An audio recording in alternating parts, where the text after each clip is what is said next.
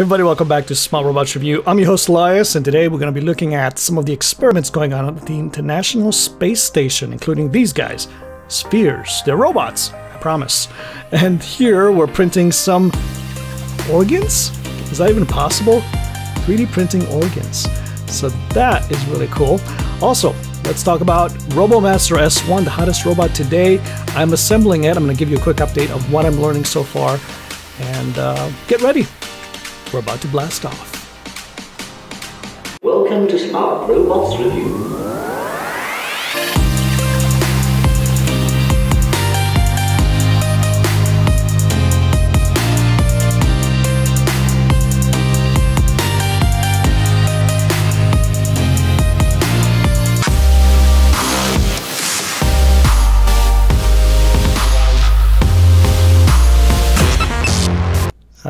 The International Space Station. Breathtaking view and cutting edge technology. That must be nice. Hey everybody, welcome back to Smart Robots Review, the show that reviews robotics and other fantastic tech from around the world and out of this world. Today we're up on the International Space Station to take a look at some of the experiments going on. Now, what you're looking at are polyhedron shaped floating satellites. They're known as spheres, S P H E R E S and it's very likely in the future the vanguard of our future space exploration will heavily rely on robots, maybe looking like this or other shapes, blazing ahead, working together to observe, collect materials, and even build structures. Some of these robots may be even used on the space station or on spaceships to assist astronauts with everyday tasks. Spheres has been a testbed for this research and for teaching as well. In fact, astronauts aboard the ISS are preparing Spheres to run the latest test code from participants of the Spheres Zero Robotics 2019 Middle School Summer Program. Zero Robotics is sounds like a like a really fun competition. Zero Robotics is an international robotic competition using spheres organized by MIT that challenges middle and high school students to further develop this technology. Notice how the astronaut is holding the robots by that what seemed to be like a cylinder. Well, that certainly is a gas canister, because these robots use gas, CO2 gas, for propulsion. It also uses ultrasonic sensors and infrared sensors to collect telemetry information to be able to figure out its uh, location, triangulate its location, and then uh, small bursts of that CO2 gas is released to enable movement around the station. Each robot weighs about 4.1 kilograms and has a diameter of about 21 centimeters. This is overall so exciting. I can't wait to see what the next evolution of these robots is going to look like. Alright, let's move on and we're going to talk about 3D printing in space.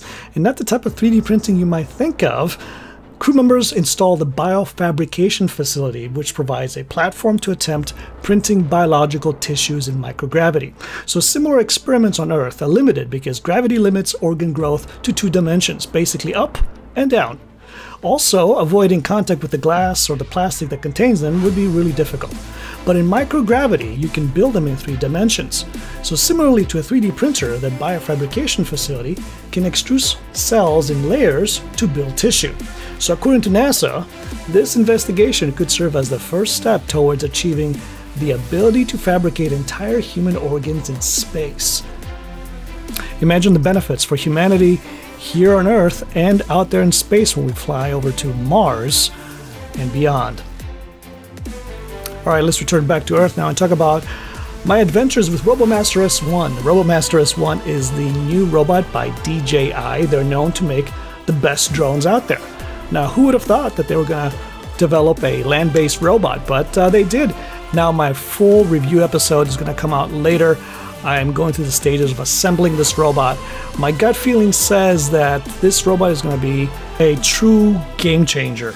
The price tag is kind of high, but for that price, you're getting a lot of unique features not found in any other robots, like the unique Mecanum wheels. These wheels allow for omnidirectional movement.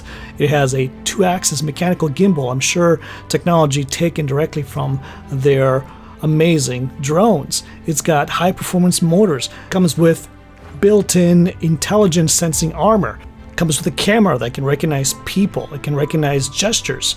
Very exciting. It is a platform that you can also program using Scratch 3.0 or even Python. Overall, this sounds so good so far, I, I can't wait until the build is done. Alright, that's all I have for you guys today. Thank you so much for watching. If you enjoyed the show, tell your friends, your family, share it, click the thumbs up, subscribe. I appreciate it all, and it helps me make more videos. Alright, and with that, you guys take care. Until next time.